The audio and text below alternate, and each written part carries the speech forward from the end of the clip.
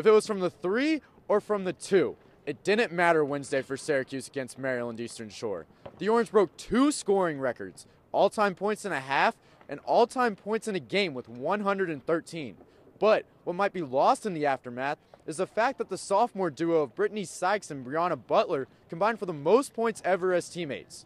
Those on the floor, however, did take a notice. Well, that's going to be tough to beat when they're both doing that because they're both very good basketball players.